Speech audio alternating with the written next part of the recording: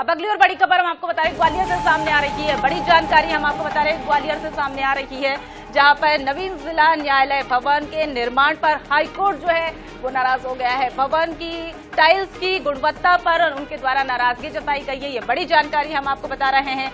जो टाइल्स लग रही है भवन में उसको लेकर हाईकोर्ट के द्वारा नाराज़गी जताई गई है। 2009 में दायर की गई थी जन, जनहित याचिका। ये बड़ी और अहम जानकारी आपको बता रहे पंद्रह साल बाद भी यह निर्माण कार्य लगातार जारी है। नवीन जिला न्यायालय भवन में निर्माण का कार्य चल रहा है और भवन में टाइल्स की गुणवत्ता पर कड़ी नाराज़गी जताई गई।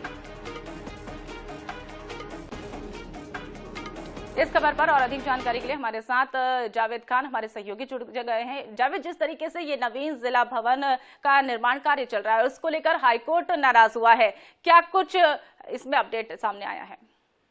जी, बिल्कुल, जो जिला न्यायालय भवन की कार्रवाई शुरू हुई थी 2008 से शुरू हो गई थी, लेकिन 15 साल हो गए अभी तक जिला न्यायालय का भवन बन नहीं पाया है। इसको लेकर हाईकोर्ट में एक जनहित का एडवोकेट है आनंद भारद्वाज, इनके द्वारा लगाई गई है और उनका कहना था कि जो नवीन जला कोर्ट है, वो क्योंकि इसलिए बनाया जा रहा है कि शहर की आवश्यकताओं को, जरूरतों को देखते हुए और क्लाइंट की जो संख्या बढ़ रही है सिटी सेंटर में बनाया जा रहा है, लेकिन बनाते बनाते पंद्रह साल हो गए हैं, अभी तक उसका निर्माण कार्य पूरा नहीं हुआ है। और उसमें भी गुणवत्तापूर्ण सामग्री नहीं लगाई जा रही है जो टाइल्स लगाए गए हैं, उसमें पीआईओ की जो रिपोर्ट आई है, उसमें कहा गया है कि जो टाइल्स हैं, उसमें कोर्ट ने टिप्पणी की है, वो किसी धर्मशाला में भी इस तरह के टाइल्स नहीं होते, जैसे कि जिला न्यायालय में लगाए जा रहे हैं। तो इस तरह से जो टिप्पणियाँ हैं, उसको देखकर कोर्ट का रुख साफ़ है और उन्होंने जो सरकारी वकील है, उनसे कहा है कि इसमें गुणवत्ता ख्याल रखा जाए और समय सीमा में कार्य पूर्ण करने की कार्रवाई की जाए।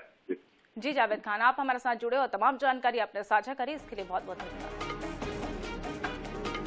तो एक बार फिर से आपको बता दें कि ऐसी टाइल्स तो धर्मशाला में नहीं लगती है। यह हाईकोर्ट के द्वारा कहा गया 2009 में दायर की गई थी जनहित याचिका और उसके बाद 15 साल बीत जाने के बाद भी निर्माण कार्य जो है अभी भी जारी है। नवीन जिला न्यायालय भवन के निर्माण कार्य पर अब हाईकोर्ट के द्वारा नाराज़गी जो है वो ज़ाहिर की गई है। भवन में टाइल्स की गुणवत्ता को लेकर हाईकोर्ट के द्वारा नाराज़गी ज़ाहिर की गई है। जो टाइल्स लग रही है, वो मानक नहीं है ये हाईकोर्ट के द्वारा कहा गया ऐसी टाइल्स तो धर्मशाला में भी नहीं लगती है।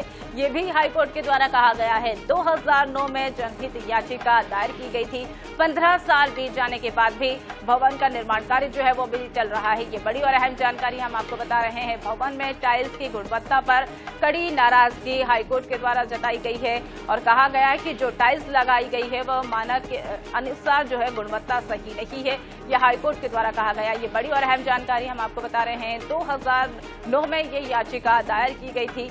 पंद्रह साल बीत जाने के बाद अब अभी भी जो है निर्माण कार्य लगातार चल रहा है। तो ये बड़ी और अहम जानकारी हम आपको बता रहे हैं। भवन में टाइल्स की गुणवत्ता पर उनके द्वारा नाराज़गी भी जताई गई है। जो टाइल्स लगाई गई है, वो मानक के अनुसार नहीं है।